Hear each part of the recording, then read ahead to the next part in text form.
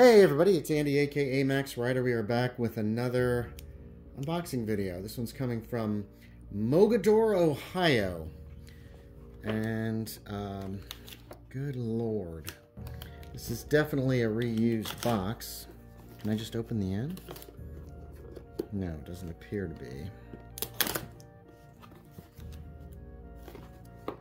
This is like a freaking puzzle box. What the hell? Aha.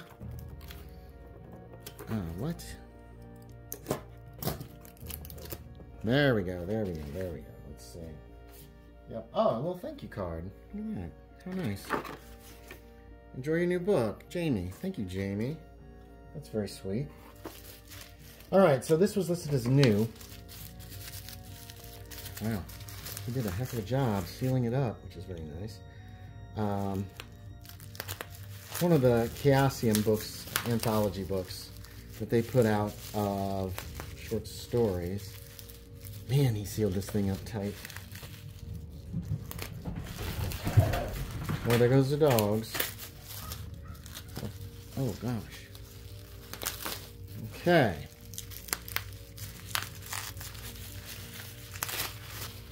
So this is the Book of Iod. I'm going to pull it out and see how it looks and how it smells.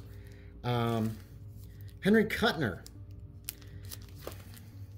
Henry Cutler, 19, uh, Kuttner, 1914 to 1958. Wow, he was young. Was a friend of young Robert Bloch and a promising writer in his own right. They shared the same markets, including weird tales and strange stories. They even collaborated on a few stories and both shared a friendship with the great old one, uh, grand old man H.P. Lovecraft. Kuttner soon became one of Lovecraft of the Lovecraft Circle, submitting plot ideas and draft manuscripts to Lovecraft. Eventually, Henry Kuttner Kuttner matured into a fine writer of fantasy and science fiction, for which he is best known.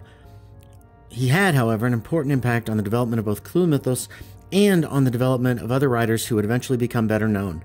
Ray Bradbury refers to Kuttner as a neglected master in his memoir of his friend and mentor in The Best of Henry Kuttner.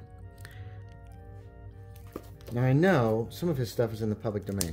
Um, there's one story by him uh, that deals with Nyogtha, and I think Nyogtha, or Thuga. Let's see how it smells. It smells, hmm. It smells okay. I'm detecting faint hints of uh, cigarette smoke, but it's not very, it's not very bad. The Secret of Kralitz, The Eater of Souls, Salem Horror. I think it took place in Providence, 17. Um, I think this might be it. It's hardly new, but it's good enough shape.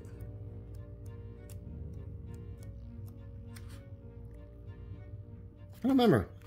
Uh, the Black Kiss, The Jest of Droom-Avista, Spawn of Dagon, Invaders, The Frog, Hydra, The Bells of Horror, Bells of Horror, The Hunt, Beneath the Tombstone, and Dead of Night. Um, so yeah, so it's a little anthology, mostly Henry Kuttner. So there you have it. There is the Book of Iod. Hey, thanks for watching, everybody. As always, I appreciate it, and I will talk to y'all next time.